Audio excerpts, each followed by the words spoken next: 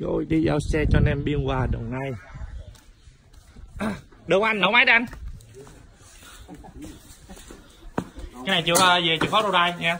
Giờ lưu đai hả? Lưu đai khoảng nhiêu à tầm nhiêu à không để chạy luôn được nữa chạy khoảng năm ba ba năm năm năm bảy trăm cây là được ok.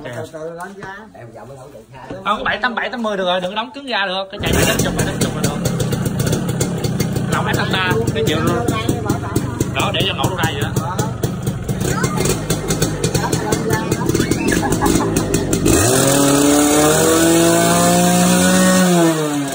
gì không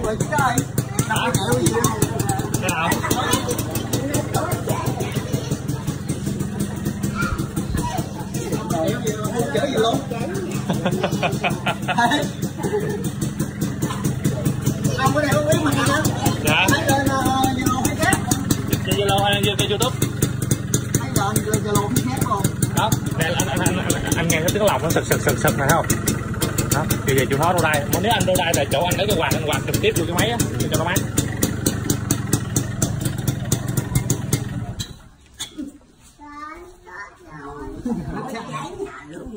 Hôm nay nó chết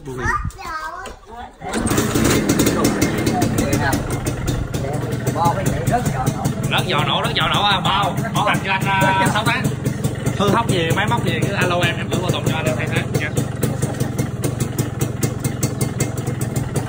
bữa nào đeo kiểu đàn không má không à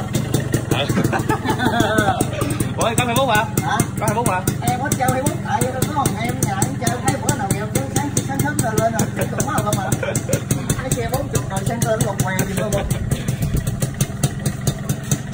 thì giao sport 40 còn năm số bảy một là một năm mình chỉ còn hơn năm số bảy một năm không năm số bảy một năm chiếc 35 triệu. Chiếc 35 chiếc đó khách trả lại. Chiếc 567 bị lỗi gì bị lỗi gì? Lúc B nó chạy lúc B giao sport full zin 40 triệu cho anh em biên hòa đồng nai. Làm chiếc chơi chút.